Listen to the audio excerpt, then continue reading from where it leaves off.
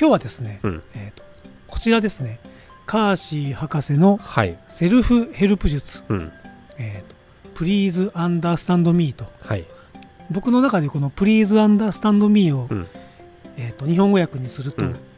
僕の中の僕が、うん。僕を理解してよってうん。僕に言ってるんですね。うんうん。そんな感覚です、うん。あまあで Please も Understand Me は、うん。僕もそんな感じですよ。なんか理解しましょうって話じゃないですあそうですね、あで自分のことを簡単に言うと理解しましょう。って、うん。はい、っていうことです、うん。で今日は、えー、と子供と気質、うん。えー、とこれまでに、えー、と16タイプうん。の話をして。はい。あでもまあその大元4つの気質があるよ、うんえー SP、SJ、NF、NT、うん。4つの気質から出るよ、うん。なんていうのを挙げてきたんですけどもまたあの違うライブでは相性というか性格的な相性うん。っていうのもやりましたし、うん。性的なはい。相性もやりましたと、うんじゃあ子供ですねと。うん。こちらはい。カーシー博士のセルフヘルプ術からですね、はい。えー、と MBTI そのうん。子供と気質うん。についてのまあ冒頭部分をちょっとお話ししたいと思ってます、はい。MBTI 的な子供と気質、うん。えー子供はうん。親とは全く違う存在だよと。相手を変えたいという願望。うん。これをピグマリオンプロジェクト。ピグマリオン？ピグマリオン効果ってありましたよね。ピグマリオン効果ってありますよね。うん。ピグマリオンはうん。ギリシャ神話に登場するうん。キプロス島の王であると。現実の女性に失望したうん。ピグマリオンはうん。ある時自らの理想の女性ガラテアを彫刻にした。うん。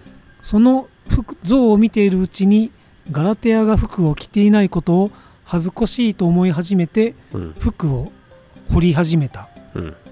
要は自分自身の姿好きなものを作っていくっていうことですかね。はい。それを、まあ、ピグマリオンプロジェクトうん。ピグマリオン効果っていうかもしれないですねピグマリオン効果って心理学ですよね。あうんと。期待をすれば人は伸びるっていうのがピグマリオン効果。心理学でいう。子供たちにはい。期待を持って接すると子供たちの成績が伸びて、はい。こんな子供たちダメだよって思って接すると成績が落ちるっていうのが多分心理学の実験で行われたって話なるほど。はい、大悟さんっぽいですね。はい、今見たやつですからね、はい。で相手を変えたいっていうこのうん。ピグマリオンプロジェクトは、うん。配偶者との関係では目に見えて明らかなことだがうん。要は相手を自分のうん。自分がコントロールしようとする。っんんていうのはみんながやろうとしているが、親子の間ではあまりそれが表面に出ることがないと。うんうん。そもそも子供っていうのはうん。大人とは全く違った存在であるはずだと。うん。子供が親に似るようになるのはうん。ずっと後になってからのことである。うんうん。しかし実はうん。子供時代を通じ無意識のうちに親に似るように強要されることが多い。ああ親の価値観ですかね多分。要は親が自分が経験してはい正しいと思ったことが正しいわけじゃないですか、自分の感覚的には。そうですね。だからそれを正しいんだこれいうのが正しいんだよっていうのを無意識に教えてるのか。っていうところですよね。でその親の関心は子供に子供が何をしているかに注がれうんうん子供が自分の行動から何を経験しているかはうん。見落とされがちであるあと。あ確かにそうですね、うん。子供が体験して経験したことで何を得ているのかはい。は考えてないっていう、そうですね、うん。ままさしくです、うん。まさしく。うん。でまた、えー他人がその子供をどのように思ったかには注意していてもうん。その子がどのように経験しているかには気づかないえー人はともすれば同じことをする人は全員同じことを経験すると思い込みやすい。あー。ああもう本当それ、はい、えー、とつまり注目されるのはうん。行動でありうん。経験ではないということだと。うんうんうん行動しか見てない。うんうん。何を経経験してどう思ったかとかはうんうん。全然見てないっていう、うんうん。そういうことですね、うん。で子どもの四大災難うん。っていうのが、えー、と項目としてありはい。しかし、うん。2人の子供がうん。全く違う気質を持っているとしたら、うん。全く同じことをしても2人が経験することは全然違うこものになると、うん。2人の子供が全く違う気質を持っていたら、はい。同じことをしてもうん。経験得ることは違うっていう全くこと違うことをそれぞれ得る。あ NF タイプと SJ タイプみたいな。要は隊長と僕が 今 YouTube をしていても、うんうん経験していることは違うっていうことですね。違うってことじゃないですか。感じてることは全く違うみたいな。あだから映画とかアニメとかよくありますよね。ありますね。これ面白いですよってそうですかみたいなのがこうお全互いに然ありますね。感じ方が違うみたいな。確かに。あそりゃそうですよね、うん。そりゃそうだ、うん。で、えー親や教師などが自分の子供の頃はこうだったうん。と思い出して、うん自分の経験を子供に当てはめようとするのはうん。大きな間違いであると、うんうんえー類似点を勝手に想定して当てはめることは、うん。子供の前途を否定することにもつながると。うんうん。時には、えー親切心あふれる大人がうん。親の特権や鈍感さのためにうん。まるで子供がロボットでもあるかのようにうん。その子供の個人的な領域に侵入する。うんそこで子供たちの四大災難うん。が登場する、うん。この4つとはいわゆる戦争疫病飢饉死ではないよと。うんうんうん。あではない、子供の四はい。大災子供の四大災難は、えーそれはうん。無意識にもうん。自分との類似点を想定して、うん。親が子供に突きつけるうんうん権限押し付けうん。鈍感拒絶であると子供の四大災難は、うん。もう一回言います。親が子供に突きつけるうん。権限うん。押し付けうん。鈍感うん。拒絶であると。はい。で子供はもちろん生まれながらの気質を持っていますよ、うんうん。雪がはい。それぞれ形が違うように、うんうん。子供も自分の気質を、まあ、個性として持って生まれてくると、うん。で生まれた時からそれぞれ違っていくらお説教しようが訓練しようがうんそのことからトラウマを受けようがうん。違いを消すことができない。うん。要は気質は基本多分変わらない。変わらない。はい、でまた親がいてうん。大人にはうん。教師っていう存在もいる、はい。はい、典型的な例えば32人のクラスうん。では SJ 型が12人うん SP 型が12人うん NT 型が4人うん。NF 型が4人いる。うん。うんでその中にうん。ISFJ の教師がいたとします。はい。学校で生徒たちの全員がしっかり勉強しうん。時間内に終わらせることができるようになればうん。良い学習の習慣をうん。身につけることができうん。その結果信頼できうん。役に立ちうん。正直で責任感のある市民としてうん。自分の役割を喜んでこなすことができる人物になれる。うん。もし自分の仕事とはこういうことだ。って教師が思ってる、はい。思ってそうですよね。うん災難ですね。なるほど。僕はうん。そうじゃんって思いましたもん。うん。それを押し付けられるのはそれが学校だよって思いましたもん。うん。えと思いました？それを押し付けられるのはたまったもんじゃないですね。ほらこの違い。うん。この違いが災難ですよ。子供からあるっていうことですもんね、うん。はいい今はいいですよ。大人だから言えるもん。うんうん。で別に違う道に行けるけど、うんうん。子供はそれができない。できない。すごい閉じた空間。でこの思いをしてるんですよね、うん。はい。でその教師は学校の目的についてはうん。明らかに僕と同じ SJ 型の考えを持っている、うんうん。SJ 型の考えっていうのは、うん。まあ、ちゃんと勉時間内にうん。ちゃんと勉強して、うん。えー学習の習慣を身につければ、うん。結果あなたはうん。信頼できるうん。良い大人になれるんですよ、そして良い市民としてうん。ちゃんと納税してなんていい国を作りましょうよ、うん。だってこれが幸せでしょ、それって本当にそうですかって思うんですよね多分。はい、っていうこの SJ の教師 はい。がいいと思うことをうん。子供たちにも求める。うんうん。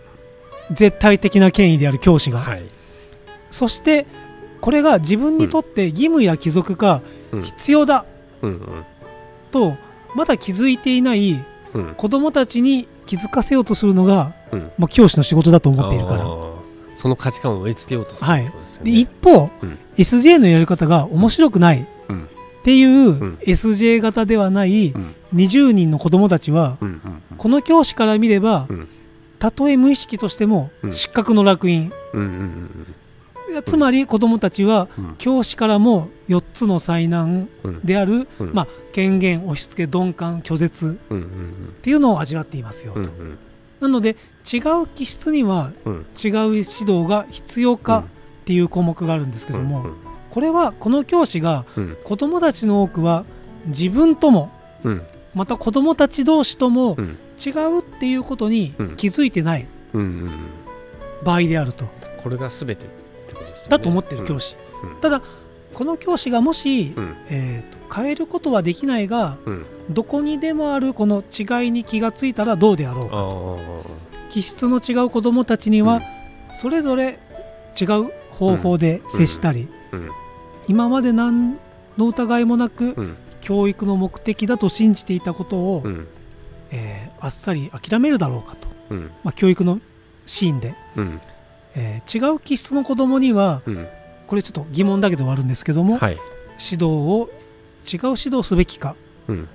内容を変えるだろ変えるべきだろうかうんうん。課題や説明うん。質問を変えるとかっていうのは賢明なことだろうか、うん。えーこうした質問疑問っていうのは、うん。気質説があってこそ生まれてくるもの、もしこの気質説を無視するなら、うん。教師は自分自身を手本にしてうん。生徒自身を同じように扱うことも自由である、うん。うん。しかしこの違うタイプがいる、うん。違う考え方があるっていうことを受け入れるとうん。これは運命的なものになって動き方が変わるよねと、それが子どもたち一人一人の、うん。えーユニークな個性を引き出し、うん。育成する作業に使われるのであればうん。どうであろうかと、仮に学校でうん生徒全員をうん。ISFJ に変えることが可能だとしても、うん。私たちのこの世界ではうんうん32人全員が同じ ISFJ っていう世界は必要ではない、うんうん。そうだその偏った世界っうんうん。ていうのがうん。必要ではないと。うんもちろんこれはうん。他のタイプにも言えますよと。うんうん。調和バランス。はい。えー気質の問題は、まあ、教師にとって難題ではあるが、うん。もちろん解決法も難し見つけるのは難しいがうん。それを気質があるっていうのを無視してうんうん押し付けるよりもうん。答えは分からないけども、うんうん。探っていくっていうのと、どっちが子供にとって幸せな世界だろうと、んんん。眼蓄のある文章でございます、まあそりゃそうですよねっていうところですよね。今思うと本当そうです、うん。全員一緒のはずがないっていう。はい。うんこれ本当あの学校時代のトラウマっていうのは多分かなり受けていて、あの要はできない子。うん。我々のこのなんていうんだ昭和の時代。うん。昭和50年60年代。っはい。ていうのは、先生も平気でできない子扱いはしましたからね。ああしましたね。しましたよね。受けましたよね。僕あの僕の記憶にはないんですけどはい。こんなひどい子は見たことがない言いますよね。そう。はいあの小学校1年生の時にはい。なんか家庭訪問かはい。ああいうので言われたらしいです。なるほど、うん。はい。でそれをすごく悩んでたって親が。親が。でなるほど。2年生になった時に、はい。違う先生に当たった時に、はい。そんなことないですよって。出ましたね。出ますねこれは、で我々大人がはい。してなければならないものとして、えー子供はうん。親に似ているうん。といううん。先入観を捨てましょうあと、ー。えー子供たちは基本的に皆違うといううん。ややこしさに直面した時うん。親はどのように振る舞うものだろうかと、うん。まず気質の多様性といううん。概念になれようとするだろうと。うん。その次にさまざまな気質に遭遇するたびにこんな質問をするかもしれないと。うん私の目の前にいるのはどんなタイプの子供なのだろうと。うんうん。その気質をもとにしてその子供と建設的な関係を築くには私はどんなメッセージを発すればよいだろうか。うん。確かにこのさまざまなパターンでこのようにいちいち考えなければならないと思うと、ん子供たちとの関係すべてにうん。問題を感じうん。最初に会った時は自然に振る舞うことができなくなるかもしれあない。ーしかしよく考えてみればこの質問は、えー関係を制約するものではなく、うん。むしろ自然にするものだということがよくわかる。うんうん。子供との自然な関係を築くことを邪魔する。うん。私の子供は、うん。一見そう見えなくてもうん。私に似ているのだ。うん。っていう先入観は捨てるべきうんであると、うん。うんなるほど。っていうところでうん。この初めにの部分が。はい終わるでございます、うん。で次回からの動画でうん。えこの MBTI 編では子どもたちの外交内向うんうん。感覚直感はい。思考感情うん。認知判断うん。の話をはい。していきたいと思ってます。はい。はい、お付き合いいただきありがとうございます。ありがとうございました。はい。チャンネル登録も何卒よろしくお願いします。はい。ありがとうございました。ありがとう。ございました